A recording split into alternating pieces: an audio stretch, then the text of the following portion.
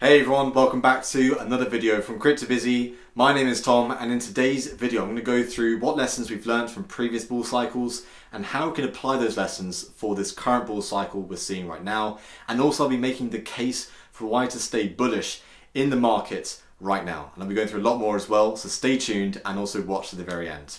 Also be sure to subscribe to the CryptoBusy channel today and leave a like, it very much helps us out. So with that all being said, let's jump straight into the video. Okay, so as I've said, I'm going to go through the market. I'm also going to go through what things we need to be aware of and what factors we need to be aware of for a bull market to still be there, the case for a bull market, and also on top of that, the lessons we have learned from previous bull markets and how we can apply those lessons for future price action as we see Bitcoin and crypto progress and also more importantly, mature. Uh, what we've been seeing over the past few weeks and also months and years as well, really, is this immense volatility. And so, uh, the great example is if you've invested, you know, hundred dollars into Bitcoin um, and gold and also the stock market a year ago, you would be up on your Bitcoin compared to the rest of the traditional finances that are out there. So the cool thing about Bitcoin and crypto is that it is new and it is fascinating and it's also very accessible compared to other markets that are out there, such as the stock market and also real estate and many others. But you know, crypto is interesting and it is a wild west at the moment. And eventually, there will come a time where a government, either in the states or you know across into Europe or maybe in uh, you know parts of Asia as well, will slap on a massive piece of regulation and that will kill the volatility. But for the time being, right now there is still a lot of volatility in the markets, and in my opinion, none of this is financial advice. A lot of opportunity to take advantage of the volatility that we're going to be seeing over these next few weeks, months, and also these next few immediate years we're going to be seeing in front of us. So I'm going to be making the case for why there is still a bull market, why there's still a bull cycle, and also importantly, why um, you know to stay bullish. And this is also very important as well. I've had a lot of people saying this is now the bear market.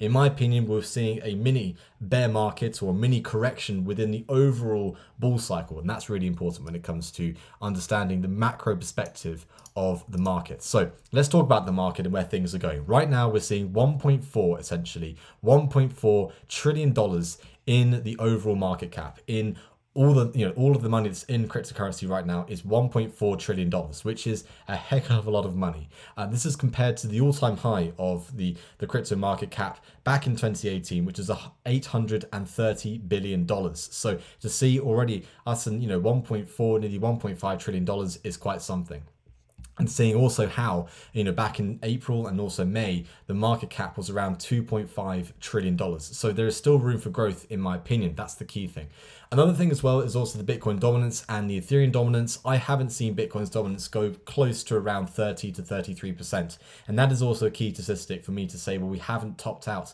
of this overall bull cycle usually what you see in previous bull cycles is Bitcoin's dominance goes down quite a quite a fair amount and then also the altcoins tend to do quite well and perform much better and outperform in terms of return on investment compared to Bitcoin itself. Also, what's important to note is that Bitcoin's price is closing above $33,500, which so $33,500. That's really important and key for, you know, keeping that bullish momentum there for getting into next week because this is, again, this is a Sunday. And so, you know, the market is a little bit dead on the Sunday compared to usually the weekdays. And so what is important to see is not so much capital flowing out of the market during the weekend. The capital is staying in, which is really important. And seeing how that is reflected in Ethereum, um, Binance Coin, also Cardano, XRP, Polkadot, some of the key uh, you know cryptocurrencies that we love talking about on this channel is very important as well. Where do we see things going? I think the, the case for saying that we're still bullish is because the institutional investment is there compared to previous years. We've had you know four years ago, um, you know the previous cycle that we had we had JP Morgan, you know, one of the largest banks in the world saying, you know, crypto is a scam, Bitcoin is a scam, and now they're opening up trading desks for Bitcoin and looking into what crypto can do and provide uh, for society. And that's really important for seeing the difference between now and then. I think also people are taking it more seriously. And again, on top of that, I don't think we've reached that sort of euphoria stage where it blinds everybody saying that we're going to go to, you know, we're all going to be trillionaires, which is not the case. It's not the case when it comes to the cryptocurrency market, when it comes to cryptocurrency, because again, people lose, people win. And at the end of the day, at CryptoBusy, what we want to do is make sure that we're all winners. And so that's a really key thing to stay subscribed to the CryptoBusy channel. Also, on top of that, uh, what, what I found quite interesting as well we sent out a poll earlier today saying you know, choose wisely bitcoin or ethereum which one do you think will be the winner in 10 years? And interesting enough 64 nearly 65% of you guys said ethereum will be the winner in 10 years time. And i think that's really telling for how the crypto mar- the cryptocurrency market will perform and also mature over the next few years what cryptocurrency has a real world use case and how can it be implemented? And that's really important there as well. I think ethereum is a very key you know cryptocurrency for how the rest of the market will perform. It is the king of the altcoins essentially. And so I do think it has a lot more room for growth and has a lot more use case compared to Bitcoin. Bitcoin is that store of value. And I've heard many people say that Bitcoin compared to Ethereum is, you know, different because again, Bitcoin is a store of value, whereas Ethereum is a, a real world use case. But I think in terms of market cap, and this is where the real winner will be at the end of the day, is for Ethereum. So on everything that I've talked about so far in today's video, do comment down below all of your thoughts and opinions on going through and what I'm discussing because all of your comments are welcome and all feedback is welcome as well. What content would you like to see? What content you would not like to see? Again, every comment is welcome. Also, be sure to follow us on Twitter at CryptoBusy, where you get behind the scenes knowledge on there. And also, on top of that, our Telegram group chats with around sort of 17,500 members actively and passionately discussing cryptocurrency. So what I'm going to go through in the rest of this video is why cryptocurrency failed in 2018, the, the lessons we've learned from there, and then also on top of that, I'll be going through some Bitcoin and Ethereum technical analysis, and then I'll be going through some interesting things that will keep the bullish momentum there, and also which is key to why I think we're still in a bull cycle uh, right now. Um, so again, interesting times ahead, that is for sure. So why crypto failed back in 2018? Um, what the hell happened to crypto this year? And the interesting thing that happened was, I think in my opinion, was the lack of institutional support and people weren't taking it seriously. Comparing it to now where, you know, um, you know El Salvador is pretty much giving its citizens Bitcoin. It's going to be mining Bitcoin, which is a new way of generating revenue for the country. I think it's be quite interesting to see how El Salvador will develop over the next few years. Very interesting stuff that's happening in Latin America, and also we're going through some more interesting stuff there as well. So lack of institutional support, that was really important for why crypto failed back in the day. I think also the ICO boom of 2017 and the amount of scams that you saw back then. It's not to say that there's no scams now, but the amount of scams we saw back in 2017 was quite telling. Um, and so you know, comparing it to now and then, there's a lot more well-established uh, cryptocurrency projects now compared to 2017. That's really important, seeing the more maturity there. And also what is really cool is that the volatility is still there as well. So I, th I, think those two things there, which is really important for seeing how you know crypto has changed and matured over the years, and seeing where we could be going in the future as well. Now, again, if you want to get an idea, because I get questions like this every single day, you know, Tom, where is Cardano going to go? Where is XRP going to go? Where is Polkadot? Where is Utrust? Where is Zilliqa going to go? All of these important cryptocurrencies that we love talking about on this channel, you know, where are they going to go?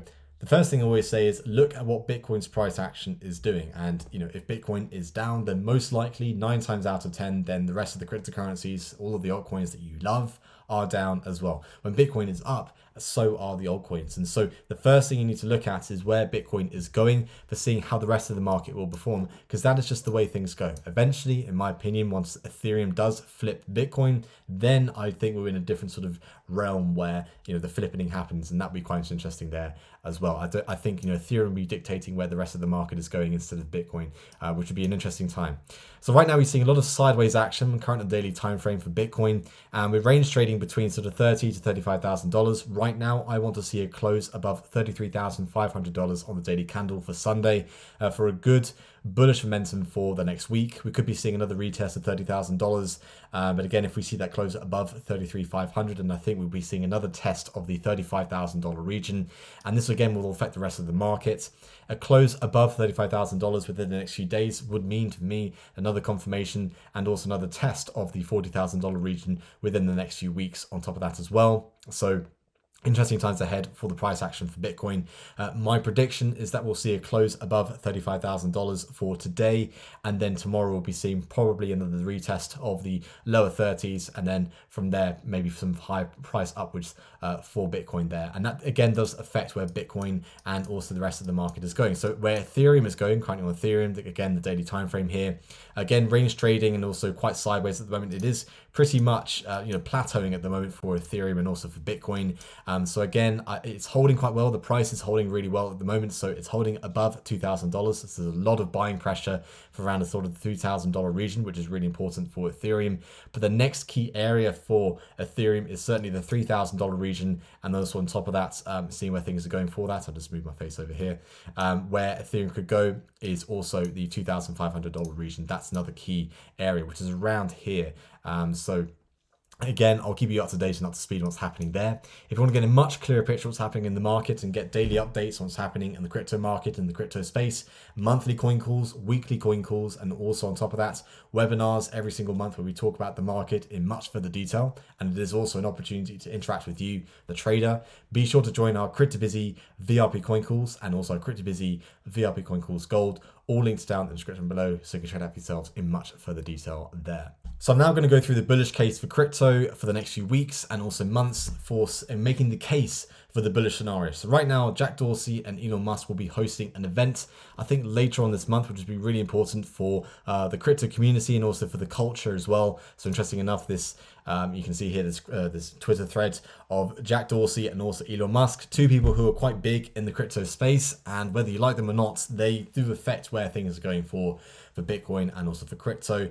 So we could be seeing more of maturity in the conversation here, I hope in terms of where things are going to be going. Um, we have to take again the macro perspective of these sort of things. There will be corrections along the way. This won't be sort of green candles every single day. There will be days where we see the red candles as well. So you have to have that balanced perspective, that macro perspective when it comes to cryptocurrency. Not every day will be green. There will be corrections along the way. So that's a key thing there as well. And also I think what's more important is that Paraguayan lawmakers to present Bitcoin bill on the 14th of July. So that's going to be this week coming, uh, which is really important week commencing the, the 12th of July.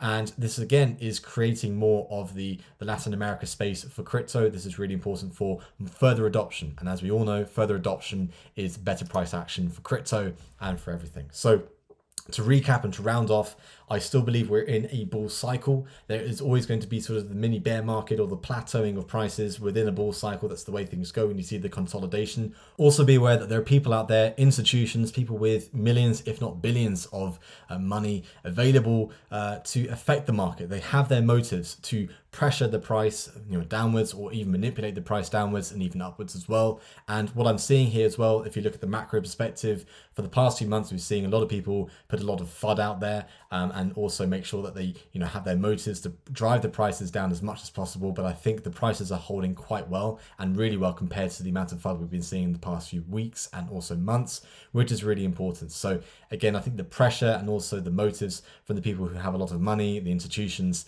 i think will soon be buying up people don't want you to be buying up these sort of prices at the moment. They want you to be scared of crypto and they want you to be scared of getting into cryptocurrency in the first place. And so I think that's their motives behind it because they are the ones that want to, you know, pretty much fill their bags and they don't want people who are, you know, the sort of the, the little class, the, the little people of this world not to be getting into crypto. So there's a lot of interesting stuff going on there as well. So just be aware of that. Again, there will be corrections on the way, but I do think we're seeing that bullish momentum and also, uh, interestingly enough, a lot more people adopting cryptocurrency. So do comment down below all your thoughts and opinions what I'm going to go through in today's video, what I've gone through, and also, um, you know, whether you like the style of content, whether you don't, what sort of content do you want to see more of, what type of videos do you want to see more of as well. All comments are welcome, all feedback is welcome, so that's really important there. Be sure to subscribe to the CryptoBusy channel today and also leave a like on this video. It very much helps us out.